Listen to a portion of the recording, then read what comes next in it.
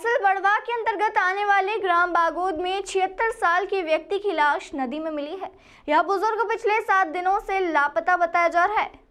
बागोद में बच्चों के शमशान घाट के नज़दीक नदी में छिहत्तर वर्षीय शिवराम, पिता पदम जाति बलाई, जो पिछले सात दिनों से लापता था, जिसकी दिमागी हालत ठीक नहीं थी। यह दिमागी रूप से कमज़ोर था, जिसके तीन लड़के हैं। उसकी लाश मृत अवस्था में नदी में मिली, जो पैर फिसलने से नदी में डूब गया। नदी किनारे वहीं समीप ही उसकी छतरी भी पड़ी थी।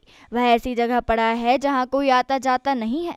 वहाँ आज किसी व्यक्ति ने उसे देखकर फ़ोन पर चौकी प्रभाव प्रभारी महेश यादव को सूचना दी।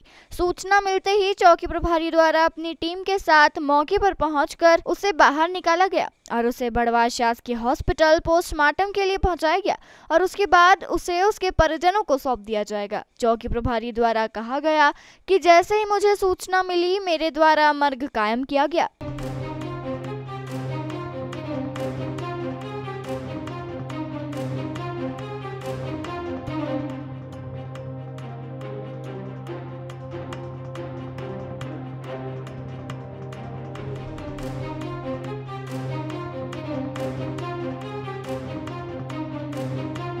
दोपहर न्यूज़ के लिए बड़वा के बागोद से रितेश अग्रवाल की रिपोर्ट।